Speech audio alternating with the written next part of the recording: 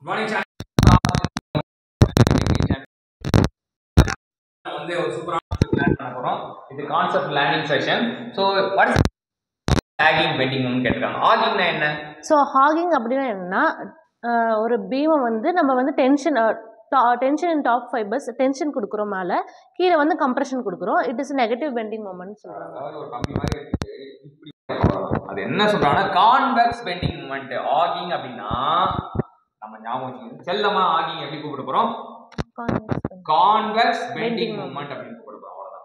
ஆகிங்னா convex அதான் நம்ம convex அப்படின்னா a bending moment that produce convex bending moment at the support of the continuous support beam. இல்ல simply support beam. இப்போ வந்து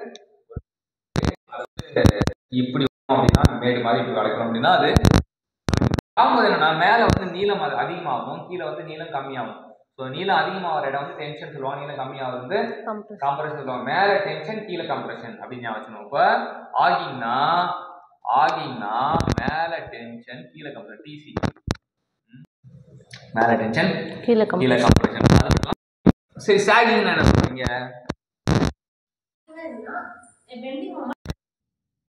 uh.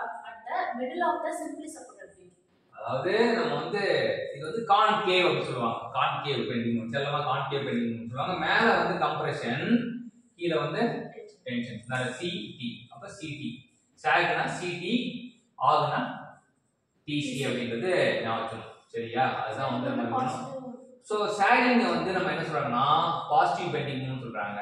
ஆகிங்க வந்து. Negative bending அப்போ நம்ம ஞாபகம் வச்சுக்கணும். ஆகிங் வந்து நெகட்டிவ் அப்படின்னு சொல்றாங்கன்னா ஆகிங்க வந்து பாத்தீங்கன்னா எக்ஸ்குள்ள என்ன இருக்கு.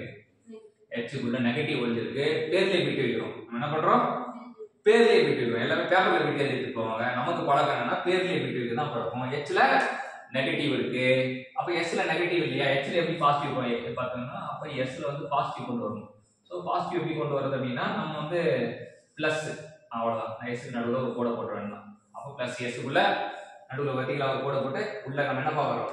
எஸ்க்குள்ள எஸ்ஸை எப்பவுமே பாசிட்டிவாக தான் பார்க்கணும் எஸ் அப்படின்னா என்ன அர்த்தம்? பாசிட்டிவிட்டி அப்படி. எஸ்னா சாகிங்னா மட்டும் ஆகிங்னா நெகட்டிவ் ஆகிங்னா கான்வெக்ஸ் இது ரொம்ப முக்கியம். சாகிங்னா அப்ப வரைவாங்க. இது வந்து கான்டிவரன்ஸ் கான்வெக்ஸ் எப்படி வரைவாங்க. இப்படி வரைவாங்க. இப்படி வரைவாங்க. இப்படி ஒரு லென்ஸ் வந்து அது கான்வெக்ஸ் இதுதான் வந்து இந்த மாதிரி ஸோ பண்ணலாம். ஸோ இதான் வந்து இதை வச்சு தான் கான்கேவா கான்வெக்ஸ் அப்படின்றது கண்டு